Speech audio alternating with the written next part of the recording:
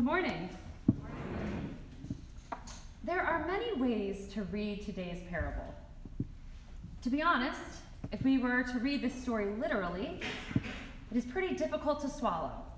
How could the landowner give equal compensation to all the workers despite them working unequal amounts of time in the vineyard?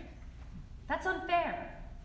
I grew up with the idea that hard work pays off, that a good work ethic plus the time you put into something would result in an outcome that was comparable or better than what I would put into it, whatever it may be.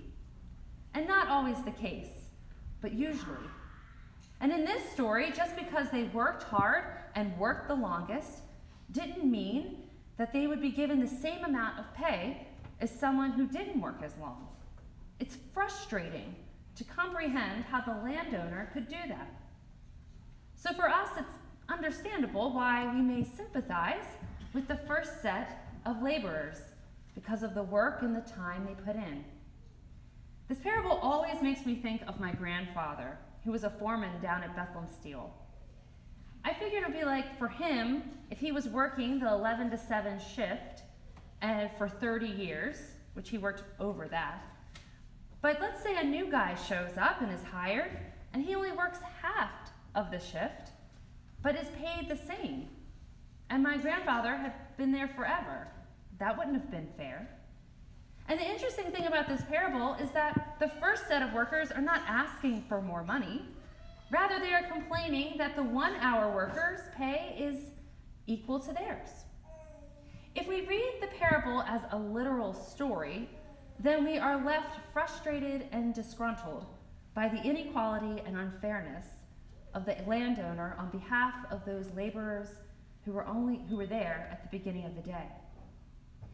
Yet we could read this parable as an allegory or a story, story with a hidden message where the landowner is God who opens the kingdom of heaven to those who've been waiting for a Messiah for 20 years or even two minutes.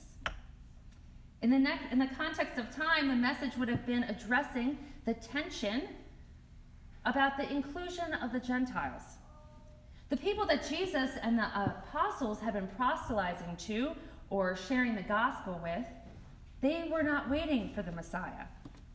And intertwining the Jews with Gentiles who just came to believe in Jesus as the Jewish Messiah, this produced a lot of contention and concern on how these groups would uh, work together and come together with different spiritual and cultural practices.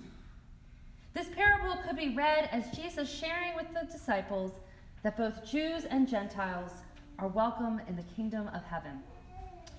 But today I want to challenge us. I want us to think about another interpretation of this text. I wonder if Jesus is calling us to look at this parable not from the eyes of the first group of laborers, who are easy to sympathize with, and understandably so, or to view God as the landowner, but rather to look at this parable from the perspective of the landowner. Maybe Jesus' parable is challenging us to look past the first group that earned what they were promised and past the conflicts surrounding the early church and to focus on that landowner who did something pretty radical and who is calling us to do the same. In the parable, while he's out canvassing for workers, even as late as 5 o'clock, he asks the last group, Why are you standing here idle all day?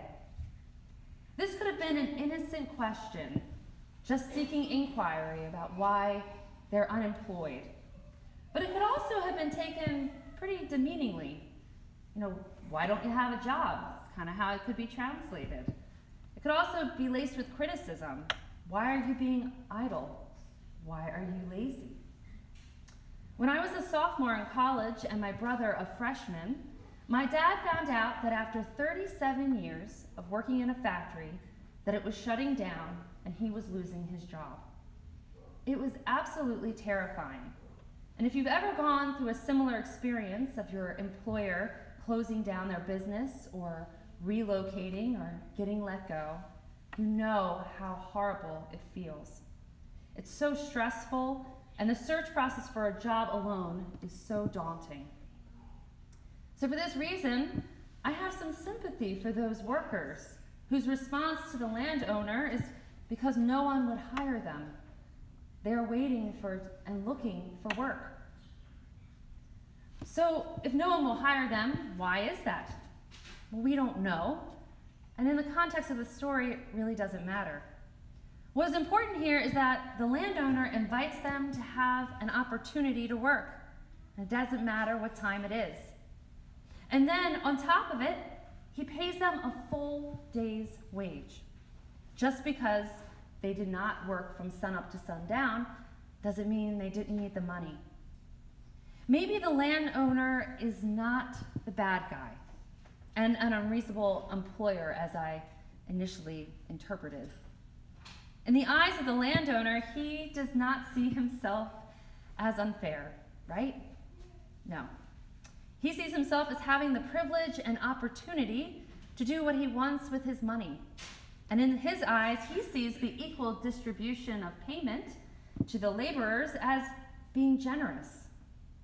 What makes this generosity radical is that the landowner's actions go beyond societal norms and expectations, and even outside of ordinary practice, to the point that it calls us to question his good deed. The generosity of the landowner risked him getting the reputation of being unfair.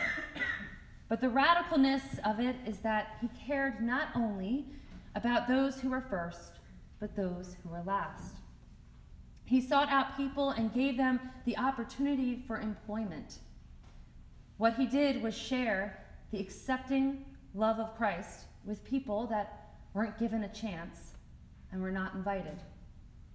As Christians, our ministry and relationship to the world is to exhibit God's kingdom and God's love here on earth, and especially with those we don't know.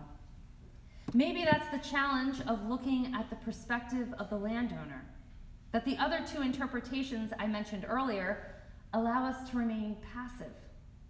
But looking at the parable through the lens of that landowner makes us look inward at ourselves and who we are as the body of Christ. Prompting questions like How am I generous? How do I look at the world around me? Do I take notice of those waiting at 5 p.m.? But also prompting the question of How can I be the landowner? His radical generosity is an example of what we know in the church world, as in the church world, as radical hospitality. If you've not heard this term before, that's okay.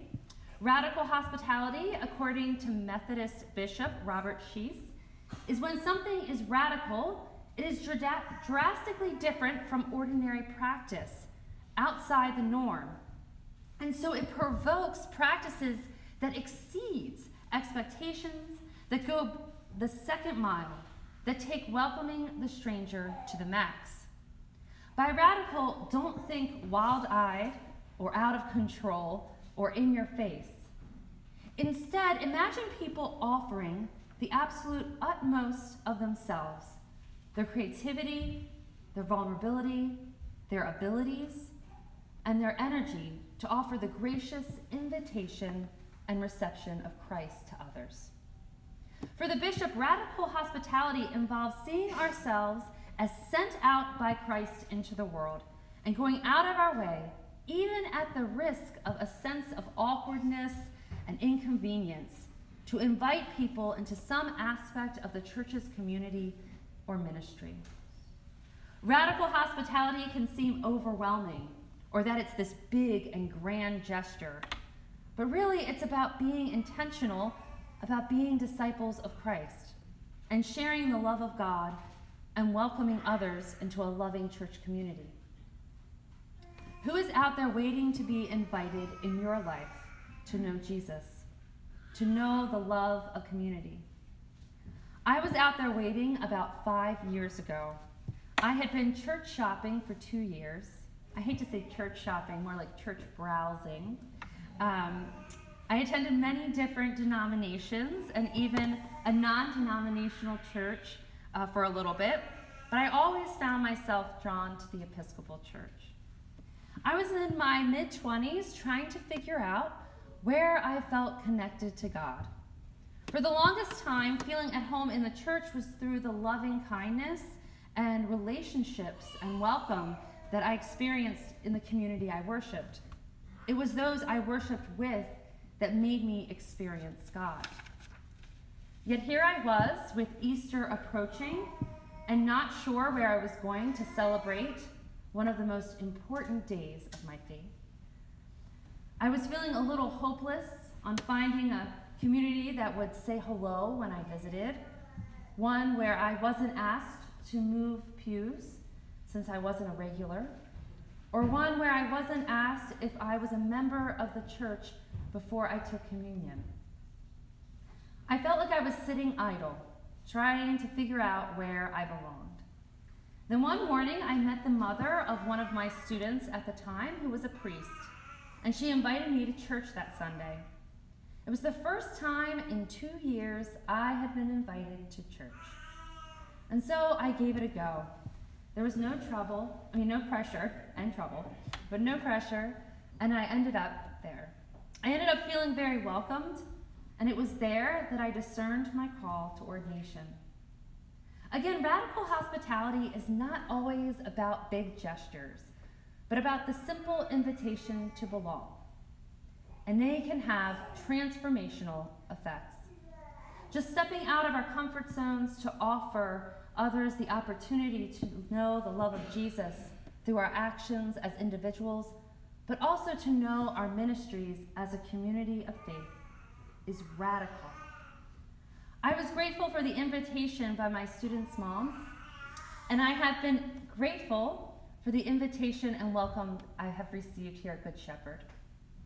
Good Shepherd has been here for over a hundred years, and many of you are multi generational members of this congregation. So, how do you see us continuing to share the love of Christ through our actions and ministries and invite people to know the love of Jesus that we have here in this community? In many ways, we've already been living this out through our ministries and programs and our youth inviting their friends to youth group, and members inviting their families and friends to our events.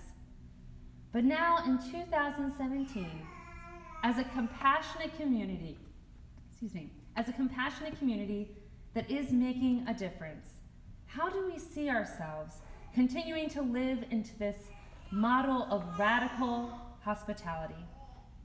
The landowner, well, he got it right.